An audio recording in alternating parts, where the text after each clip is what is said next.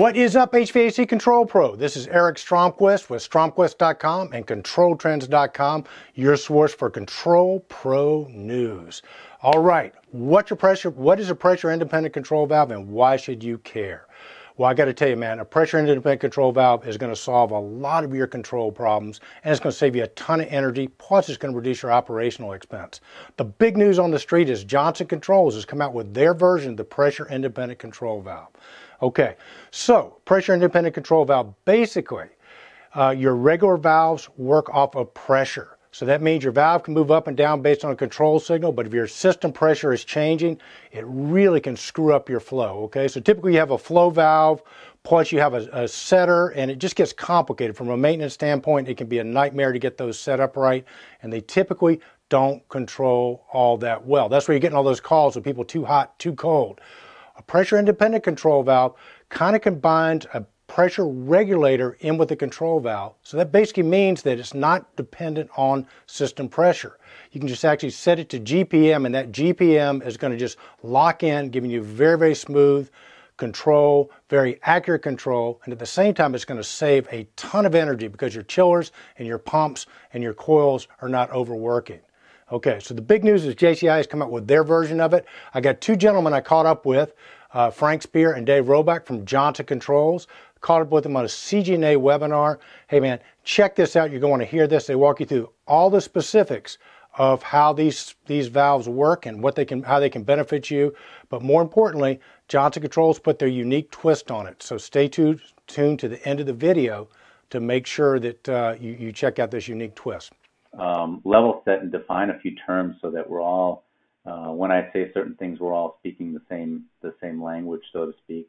Then we're going to jump into PIC valves in general and kind of do a little bit deeper dive on on what they are and, and how they work. We'll talk about, excuse me, we'll talk about why not just use a, a, a regular control valve in, in, in conjunction with auto balancing valve, right? What's the difference? And then we'll wind it up with a, a view of our uh, our particular version of a PIC valve, which, which is our VP140 series. We've got a couple of different options, and uh, really excited to talk to you about uh, a new extension of that line that we just introduced uh, recently, and then a couple of the added value-added services that Johnson Controls offers. All right.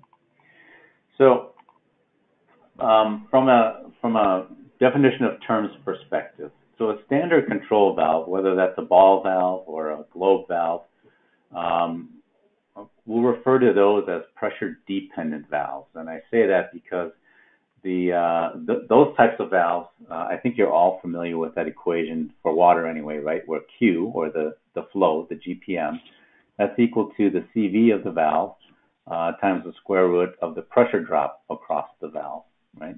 So what that means is that even though you don't change the position of a valve, the flow through that valve can change based solely on fluctuations in um, pressure um, in the system. So if you have any um, pressure changes upstream or downstream of the valve, that flow through that valve uh, will change.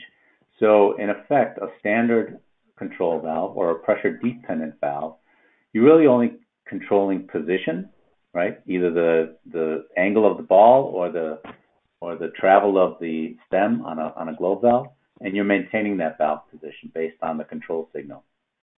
When you get into the realm of pressure independent valves, um, they have a built-in regulator in that valve that effectively um, eliminates the effect of delta P or any changes of that that the valve sees. So now uh, you can imagine even though you're not changing the the um, position of a valve, you may have pressure fluctuations in your system, but your flow is going to remain constant and and correlate to what it should be based on the position of that valve. So now instead of just position control, you have flow control. In other words, your control signal is is controlling to a specific GPM uh, and not just a position.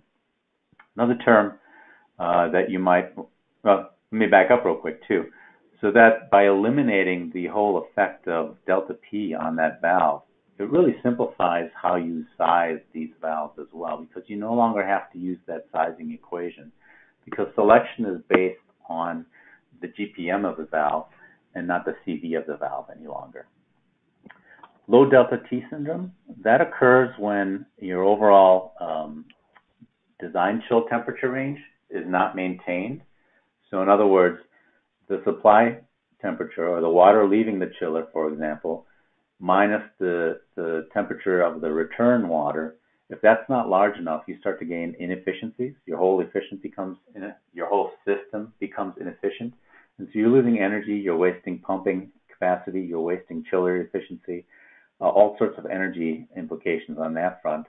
But it also ca- causes um, comfort issues, right? And, and one of the main causes of low delta T is an overflow of coils when you're at a part load condition. So either the pump upstream is pumping too much, or um, or the uh, downstream um, um, activities that the valve sees are causing um, a decrease in delta P there, so you're underflowing. So either underflowing or overflowing has effects on comfort and also low delta T.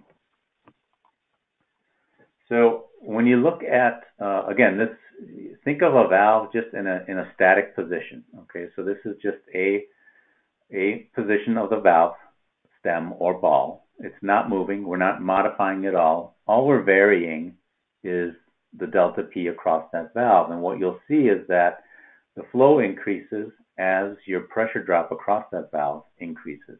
And the curve looks somewhat like this, depending on the valve. It's, it's a little bit different, but the idea is the same for all pressure dependent valves. Now, contrast that with uh, the, the same type of curve that you see with a pressure independent valve. Here again, the valve position is not changed or moved. The only thing that's being varied is the delta P across that valve. And what you'll see on that chart on the right is that once you reach, reach a minimum delta P across that valve, so it's got to be high enough to activate that pressure regulator. Once you're past that, um, you have consistent flow even though your delta P is increasing, right? So that valve is mechanically handling those dynamic responses in the system, and it's making sure that um, because we're not changing the position of the valve, the flow should not change either. So that's kind of how you can view the uh, on a fundamental level the difference between these two types of valves. So, and I want to talk a little bit about um, equal percentage curves and uh, linear characteristics versus on-off characteristics, and kind of frame that all up. So on on the left there is what you could consider the desirable control curve, right? You'd, you'd want it you'd want it to be as linear as possible. So in other words, the flow rate for 50% flow rate through a coil, you would expect 50% um, um, energy transfer into that coil. That makes for simplest, most accurate control, right? The problem is heat exchangers do not have a linear curve like that. They look somewhat like the chart that you see in the middle of the page there. Now you compound that with uh, different valve strokes. I'm showing an equal percentage characteristic valve curve on the far right, which I, am sure you, you've heard of before. So all these things kind of work together, and we'll kind of walk through that in the next slide here. So now remember, the goal is to take that um, that bent heat exchanger curve and ultimately come up with a linear control curve that you see at the bottom left there. Now, if you walk through and you think of a of a case where you have an on-off valve characteristic curve. So you've got an on-off valve, right? So the top graph on there, it shows that um, you get pretty much maximum flow very quickly. When you combine that with the curve of the heat exchanger, your combined curve is even more dramatic in terms of its on-off um, characteristics. So it's very hard to control because you have a, an extremely steep curve. So before you get to even 10%, you're almost at 100% um, flow, right? Control curve. So what what that means is there's very little modulation it's impossible, in fact, and you either have all or nothing. So uh, when you think about that in terms of energy efficiency and occupant comfort, it's not ideal. Now, it works for some situations, but um, as you work your way towards the right on this page, kind of the next best thing to an on-off valve characteristic is a linear valve characteristic curve. So it's kind of the interesting thing here is you think linear, and linear is where you want to get to, but you have to remember that you're combining the valve's characteristics with the heat exchangers characteristic curve.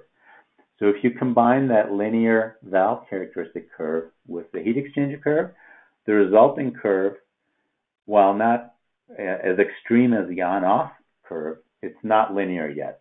But it does allow you to modulate and regulate better than, than in an on-off situation. But you're still not at the point where you have linear control.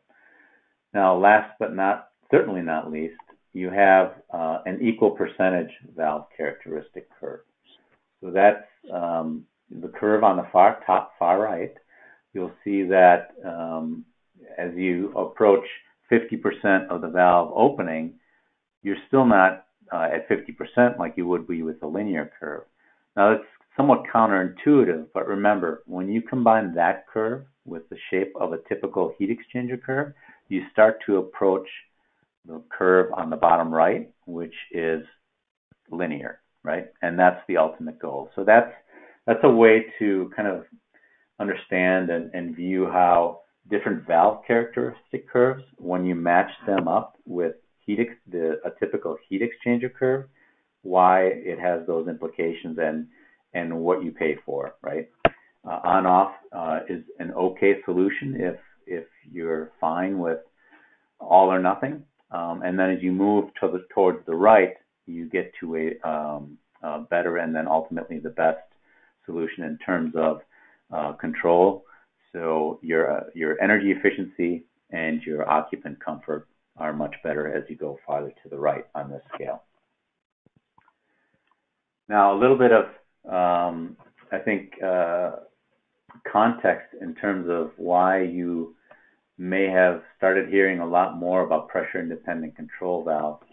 Um, this chart here kind of shows like the evolution of a, of a, of a hydronic system, right? So on the far left, uh, it used to be constant flow.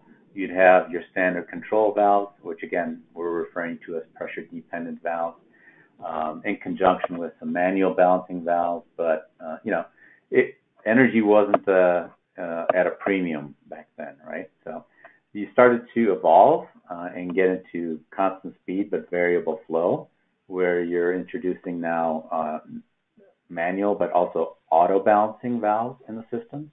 And then as we get more sophisticated and energy efficiency becomes more of a, an issue, uh, you start to get into variable speed and variable flow. Um, while folks are still using pressure dependent valves along with auto balancing valves or circuit setters, as you might might call them, they're still not gaining the full advantage of um, a variable flow system. And that's why um, all the way to the right, you see pressure independent control valves starting to uh, to really uh, sh- show up in, in the market. Um, and again, from a Johnson Controls perspective, um, our VG1000 ball valve line and our VG2 and VG7000 globe valve lines are your typical pressure dependent valves. And then those are used in conjunction with, with balancing valves. So you always have two components in this setup. On the pressure independent valve, control valve, there's one uh, product that addresses that, and that's for us, it's the VP140 series. And again, remember on the on the pressure dependent side, it's position control. On the pressure independent side, it's flow control. So that allows you to really take uh, even further advantage of varying the speed, slowing it up, um, slowing it down, and all those advantages that you get with um, variable speed systems. Um, you can now fully realize those savings um, when you use a pressure independent control valve. And by the way, the hey, um, yes. Hey Frank, it's Dave. I was just going to add on to that that I think in the back in the day in your graph here, if uh, people on the phone don't have the uh, haven't been around as long as you and I have, um, that was often a, a scenario where if occupancy comfort was the goal, you achieve that by uh, wasting energy. We're moving into a world now with pressure independent where we do not have that luxury. We have to have our occupants comfortable, but we've got to do it managing our energy consumption as well. Right, that's a great point. Um, the other thing I wanted to, to point out is um, in terms of um, valve segment growth, what we're seeing, we're seeing standard valves, um, both ball and globe, grow at about two to three percent year over year. We're seeing balancing valves actually uh, actually experience a contraction in the marketplace, and we're seeing pressure independent valves globally grow at about 12% year over year. So it's a it's definitely a valve segment that uh, is is is gaining some some some real traction. Okay, jump into a little bit about uh, how they work. So a, pressure independent valve combines the function of of three separate components really. There's a pressure regulator which uh, constantly adjusts for any system pressure fluctuations, whether they are induced because of upstream or downstream events. Um, it is a regulating valve, meaning that um, it allows you to set the maximum flow that is allowed through that valve. And then last, uh, it's a control valve, uh, meaning that it will modulate between no flow and whatever the maximum flow that was set on that valve allows it to go to. Um, it, as I mentioned, uh, there's no balancing valves in this in this scenario. So you eliminate not only the valve, but you eliminate the need to go through um, the expensive and time-consuming process of balancing the hydronic system. You just need a few spot checks to make sure that you have a minimum delta P across that valve. I'll talk about that in a, a little bit down the road. But um, it assures that you do not overflow the coils. So again, you're not contributing to low delta T syndrome or um, affecting occupant comfort unnecessarily.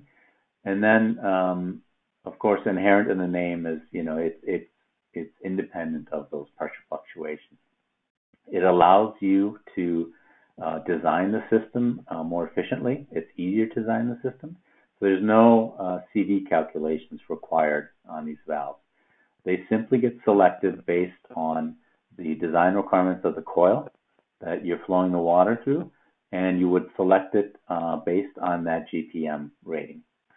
So, uh, uh, you know, the, these valves, um, they reduce installation costs, also risk, because remember now you just have two joints, right, as opposed to four with the standard uh, control valve and auto balancing valve.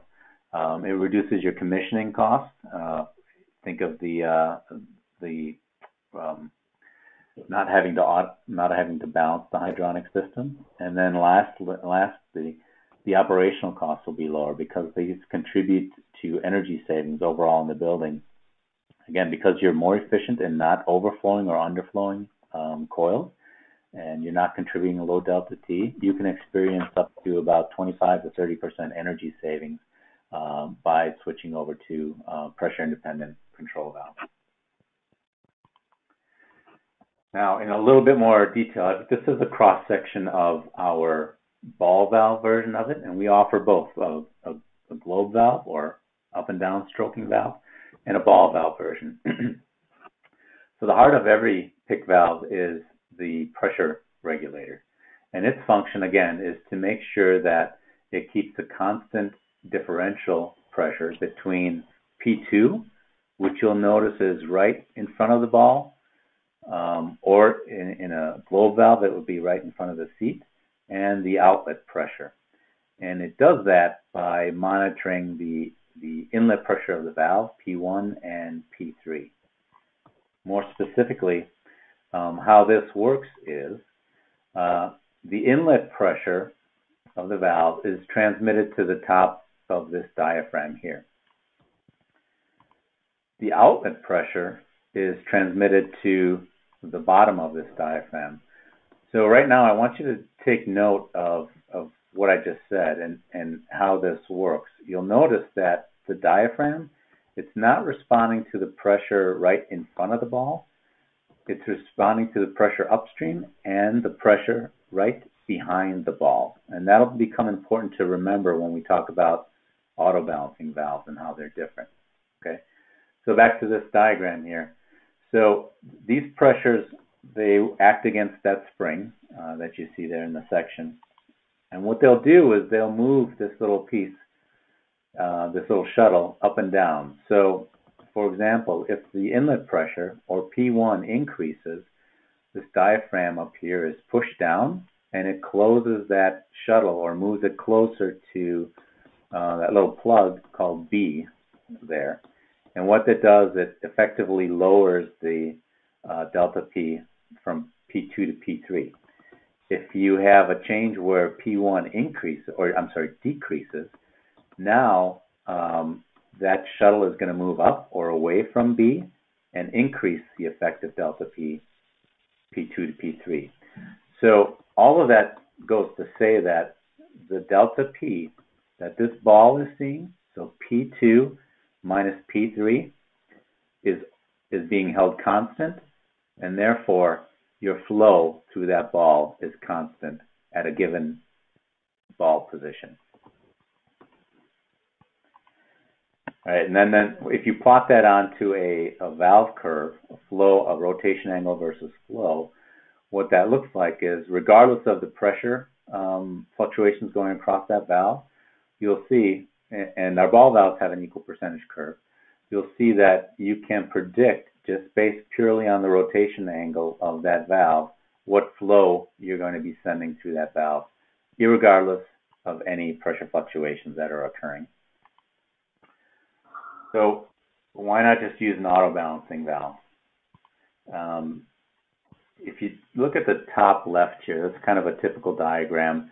So you have your um, automatic temperature control valve or your um, uh, your pressure dependent control valve, right? So this is responding. Let's assume it's it's a proportional control, so it's it's reacting to a zero to 10 volt signal. Um, downstream from that, you have your auto balance valve. Um, and I will say that the, the term auto balance is kind of a misnomer. It's really uh, a flow limiter, and you'll see why in a, in a second here. Um, a couple other systems, you typically have a strainer in front of your um, coil, but your flow is going, um, you know, through the strainer and the coil, um, through the control valve, and then into the auto balancing valve. And recall the, the flow equation for pressure dependent valves, Q or your GPM is equal to the CV times the square root of the delta P divided by the specific gravity of, of the medium. So for water, it's 1, right? That simplifies it. Um, now, let's take a look at, at what happens um, when you have that auto balance valve or that flow limiter um, downstream of the control valve. So in a, in a full load condition or a wide open condition, which is where the system balancing took place, um, it works as intended. Um, regardless of any pressure fluctuations that it is experiencing, it will limit the amount of flow going through that valve. So it will limit it to your design GPM, right? As, as you would expect. So that's why they call it an auto balancing valve because you'll see on this chart whether you have a 5 psi delta P across this or a, or a um, 60 psi delta P across this, it is limiting it to its maximum setting. So it, it controls the, the phenomenon of overflowing at a full load condition. Now, the difference is if you're modulating, you're not at a full load condition, you're in a partial load condition. So this is where it gets uh, a little bit tricky when you combine um, proportional control valve or um, even lin- or linear control valve, floating uh, control with an auto balancing valve. Okay. Um, as you start to close that control valve, if you see where it is in the system, you're affecting the inlet pressure of the auto balancing valve. So what happens? Well, the auto balancing valve is going to try to auto balance, so it will open up right? It will adjust to make sure um, that it's allowing the maximum GPM through. That's its purpose in life, right? Is to supply the maximum GPM and no more. It doesn't care about less, right? So uh, what you're essentially doing is, though, even though you throttle down your control valve, your balancing valve adjusted with that spring to make sure that the, the delta P across the control valve and what it sees is now increased again so that you have more flow going through. So at partial load conditions, um, you're still overflowing a valve. And what do I mean by that? Again, here on the left, so um, those same components kind of uh, mapped out here. Um, this is the auto balancing valve. Again, it, it's downstream of the control valve. At full open position, everything is fine, right? This is what it was balanced at. You're not overflowing the coil. You're getting the flow that you need through it. Um, however, when you start to throttle, what happens?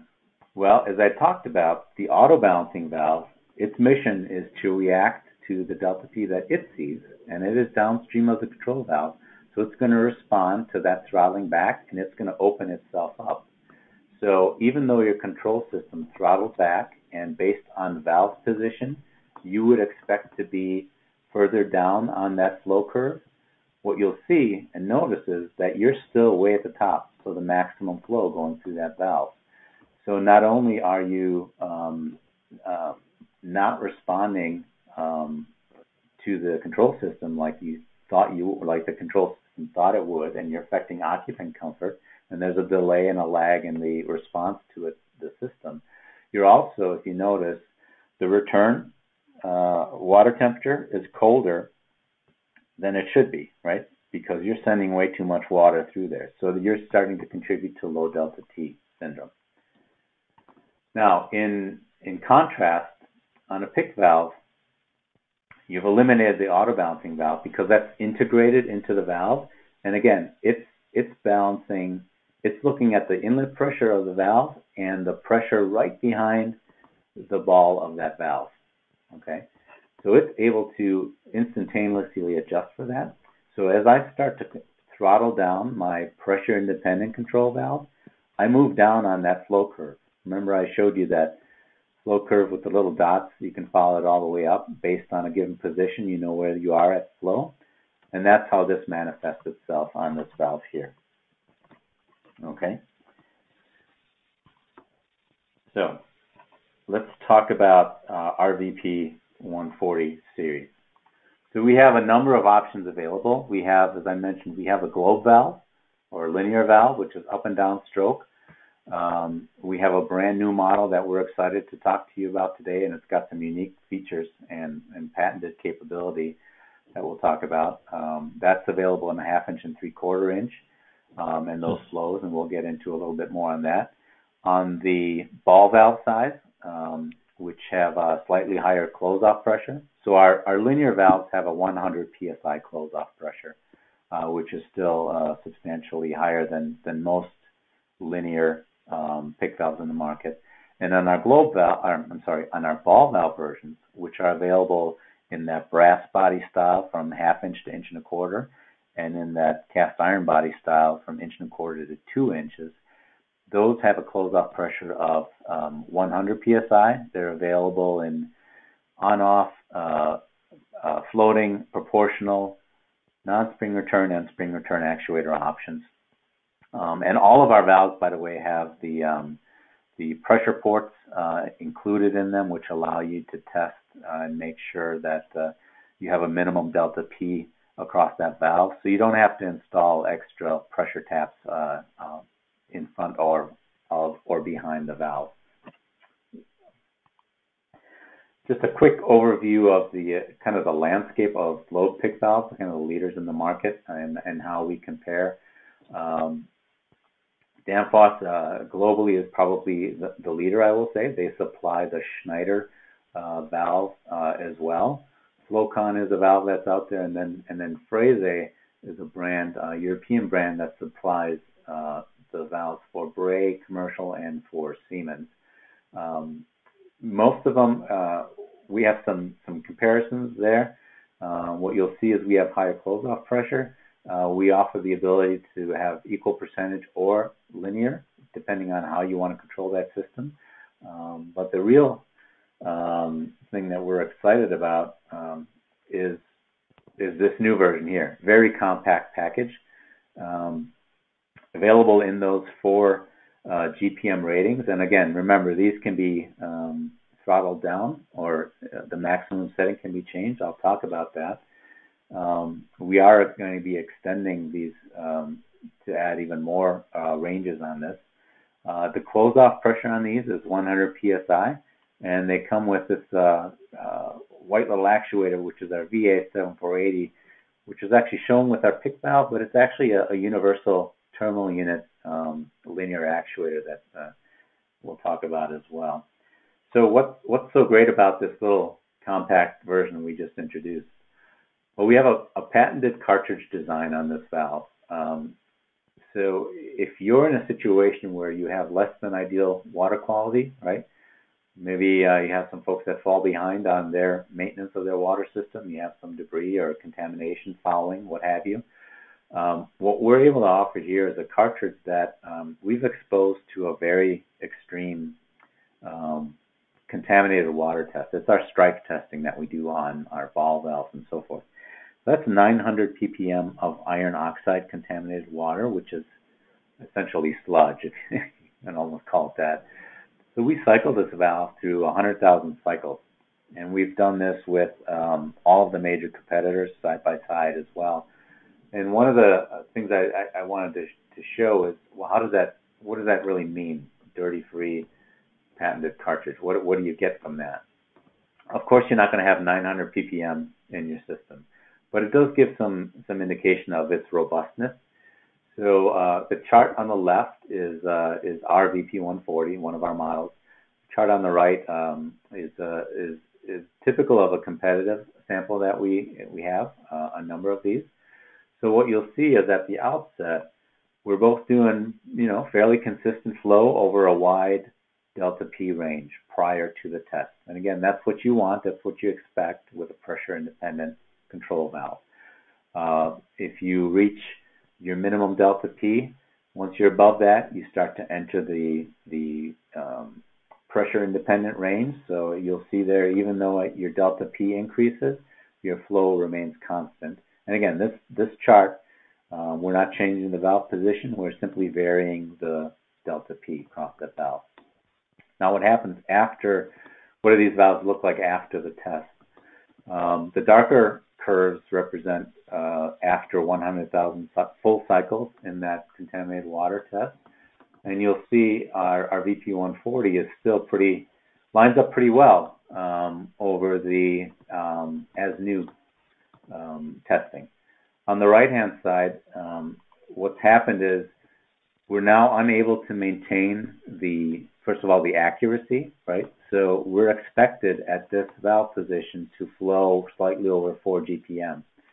Now we're somewhere in between 3 or, or 2, depending on whether you're coming down or whether you're increasing the delta P or, or, or decreasing the delta P. So how that manifests is now you're unable to supply the flow that's required by that coil, right? You can't serve it with enough water flow right? That's one problem. The other problem you notice is that you are no longer pressure independent, right? As you vary that delta P, um, your flow uh, fluctuates wildly. So in, in this case, if you did want to get back up to your design flow capacity, you would have to increase the delta P across that valve to achieve that. And then lastly, you know, that there's an introduction of hysteresis. So depending on whether you're increasing or decreasing your delta P across that valve, your um, your control is kind of all over. There's a wide range there on where you're going to be in terms of flow.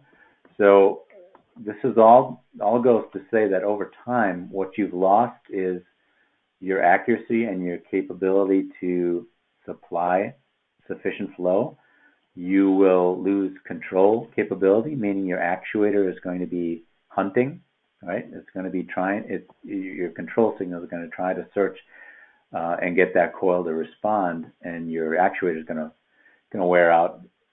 To say nothing of the um, occupant comfort and the energy waste that's occurring here. So let me kind of go now to the uh, the ball valve versions. Uh, you're probably familiar with the Belimo PIQCV product that's out there. That's available in a half inch and three quarter inch. So the uh, the only mechanical versions that Belimo offers are in those two sizes. Um, Honeywell um, has the Griswold uh, ball valve. They're available in half inch to three inches. Uh, we have, uh, as I mentioned, those two models there. We cover half inch all the way up to two inches uh, as well from a mechanical standpoint. Um, and of course, all non non spring return spring return actuator options available with those with those valves. Um, real quick view. So this is our, our ball valve line, right? Our valves are, you can purchase them with uh, just the valve standalone or valve and actuator mounted uh, together. And I'll, I'll flip through these slides here. This is just an overview just to show the various uh, combinations we have. Um, and then this is the cast iron version, right? Also non-spring return, spring return. The, um, the unique feature about the actuator for this large one on the non-spring return is one actuator addresses on-off floating or proportional in one actuator. You can simply select that um, on that actuator. So let me jump to how do you adjust the flow. On this little compact one, very easy, right? You uh, unscrew the, the actuator um, or this uh, shipping cap um, if you receive it that way. And let's say you wanted a valve that a half inch valve um, and the design flow is 1 GPM. You would select the uh, HDA model, which is a 1.9 GPM model. You look on that chart, you see, oh, 0.96 is about a 5. You, you rotate your dial to 5, and now your maximum flow that that valve allows through is just the 1 GPM, right? So that's how you would adjust that A couple of quick notes about the actuator that ships with this uh, compact version. It ships configured in um, with a 0 to 10 signal, um, reverse acting. So these valves are push to close, right? That's why it's a reverse acting setup. It ships in the linear mode and, uh, as I mentioned, volts DC. And the um, uh, now the, the interesting with this actuator is you can change that, right? you can pop this top off and flip these dip switches so you can select whether you want a 0 to 10 signal or 0 to 20 milliamp, 0 to 5, 0 to 10 volts, or 2 to 10 volts, or 4 to 20 milliamp signals. You can say that, well, I, I really want reverse acting, so when I have 10 volts on it, I want the valve to be closed. So you would flip that switch. You can also tell it to be an equal percentage valve. So that will give you that equal percentage curve that we talked about way at the beginning of this valve that's a neat little thing with this actuator. And again, this this actuator is is a standard terminal unit actuator that that works with any terminal unit valve out there that has an M30 connection and a less than a six millimeter stroke. Um, setting the the maximum flow on the ball valves is a little more. It's more of a uh, these ball valves are typically in a more engineered um, approach where you have a BAS system and you want to, for example, uh, do some seasonal uh, modifications or you have uh, varying room layouts, you can change these remotely. Um, and how you would do that is you would characterize the control signal. So again, if you would look on the chart to where you would want to limit the, the GPM on that valve, uh, in this particular example, it would correspond to an, an 80% setting. So if you're operating on a 0 to 10 volt signal, you would you would cap that at 8 volts, and that would limit the rotation to um, you know 80% of that of that turn, giving you that half a GPM there. On the uh, cast iron versions, um, you can manually change those um, using a, a, presetting device on there, um, or you can also leave it alone and do it via the control signal. But if you do it with a manual um, setting device, you would simply again look at the chart, um, unscrew a couple set screws, rotate it through the pro- proper percentage presetting, tighten it up, and now you've you've mechanically limited the stroke, and then the actuator will auto calibrate and find those those endpoints there. So um, I want to make sure we have some time for questions here, but a couple couple last minute things here. All of our um, brass bodied valves are field serviceable. So the new compact one, let's say you have an issue when you're doing a flushing, either there wasn't a bypass installed or closed off correctly, or you had something go through, whatever happened, whatever the case may be, or 10 years down the road, you you have a, a an issue. What you can do is you can swap out uh, or open up this valve and pull out that cartridge, and you can either clean it if it's just a, as I mentioned, an issue with a startup and flushing or something, or you can replace that cartridge. Uh, no special tools needed other than a, a, a 21 millimeter wrench. Um, just simply unscrew the actuator, uh, unscrew this uh, cartridge, and again, you can clean it or replace it. Um, and then you can also do that on our brass body ball valve versions. Um, same thing. You can access that um, that pressure regulator. Some other uh, competitors do not um, allow you to access that, meaning that if you do have an issue, you have to unthread and remove the whole valve, which may or may not be an issue depending if you had the foresight and you added cost to to add unions uh, on, on, either side of the valve or, or what have you. So that's another feature of, of these valves. And then one one last thing to consider from a from a um, I, I guess value add perspective, all of our valve tagging is uh, included when you order the valve. There's no additional charge for each tag. Um, they they ship standard with the model specific information, so the valve code number, the maximum flow, what the actuator is, all of that stuff. You can add a custom information, so if you want the valve factory preset to a certain GPM. That will be done at the factory and the tag will reflect that. And you can also add um, location specific information um, that would allow you to, um, you know, add fan coil uh, 101, for example, on there so you know where on the job that will go. And by the way, that, that a little label is, is, is put on the outside of the box as well. So even without opening it, you know where to, where that valve will go. But uh, that uh, kind of concludes the presentation, and I. All right, well, there you go. Hopefully you enjoyed that. Like I say, Johnson is not the first person to come out with the pressure independent control valve. I think Belimo was the first one we began handling back in the day. Belimo makes great products. Siemens has a great PIC valve. Honeywell has a great PIC valve. But as you saw from the video, Johnson, depending on the application, might have the right fit for you. So if you need to get a, uh, more information on a Johnson PIC valve, you can go to your local Johnson Controls distributor. If you don't know who that is, hey, you got www.stromquist.com. We are a master distributor based in Atlanta, Georgia, and we cover Florida. And we can hook you up or we can hook you up with your local distributor, whatever works best for you. Right, appreciate you tuning in. Be sure to subscribe to the channel, hit the like button, appreciate it, and we will see you, HVAC Control Pro, next time.